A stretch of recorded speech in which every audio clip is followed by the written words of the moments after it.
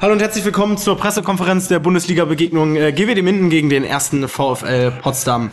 Wir hatten einen Halbzeitstand von äh, 12 zu 12 und einen Endstand von 24 zu 36. Insgesamt äh, gesehen haben das Spiel 1549 Zuschauer hier in der Kreissporthalle Lübbecke.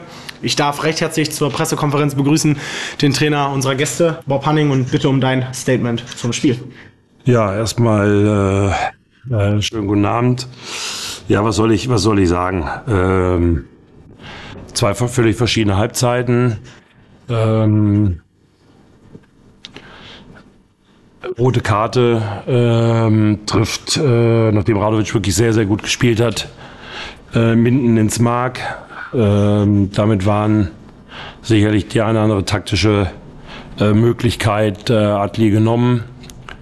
Ähm, wir haben zweite Halbzeit das, das Tempospiel konsequent durchziehen können, haben beste Verteidigung, seitdem ich hier bin, gespielt. Wir waren, wir waren beweglich, wir waren, wir waren aktiv. Wir haben äh, in der Halbzeit das Ergebnis gehabt aus Bietigheim ähm, und haben gesagt, jetzt können wir überlegen, ob wir das als Steilvorlage nehmen äh, oder äh, ob, wir, ähm, äh, ob wir jetzt alles wieder zusammenrücken lassen wollen. Die Mannschaft hat sich in Rausch gespielt, hat alles funktioniert, wie das dann so ist an so einem Tag.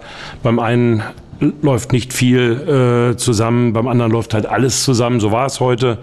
Äh, habe mich ähm, äh, gefreut, dass Max Benecke wieder zurück ist. Er hat jetzt ein paar äh, weniger gute Spiele gehabt und deswegen war es wichtig, dass er, dass er zum Einsatz gekommen ist.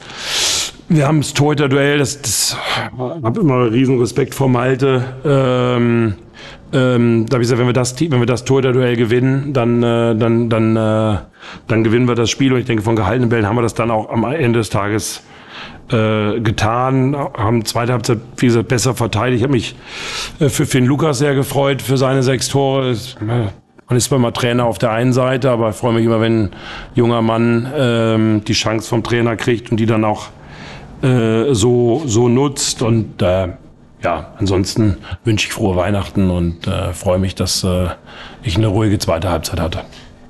Vielen Dank äh, für dein Statement. Recht herzlich begrüßen zur Pressekonferenz. Darf ich natürlich auch unseren Trainer Adelstein Elofsson und bitte um dein Statement zum heutigen Spiel.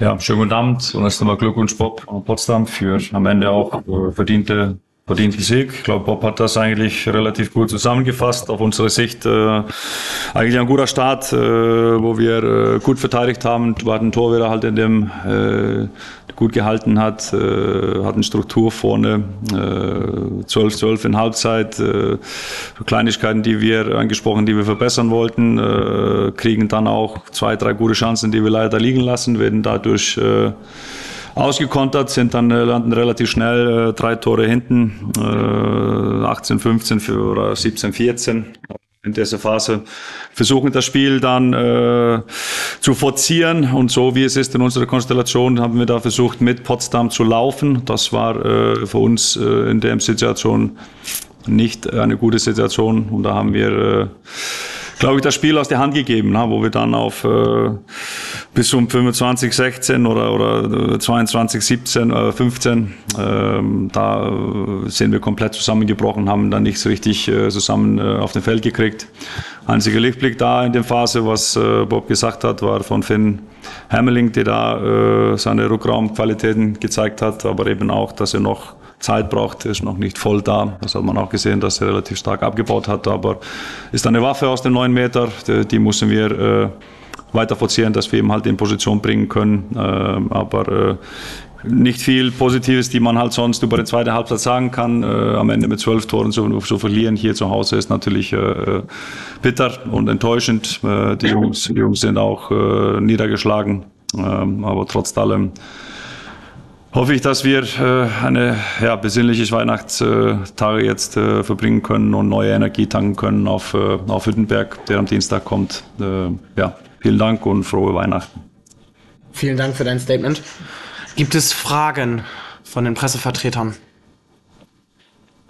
Fürs Protokoll, das ist nicht der Fall. Dann schließe ich hiermit die Pressekonferenz, wünsche Ihnen da draußen frohe Weihnachten und einen guten Rutsch und gute Heimreise. Ne?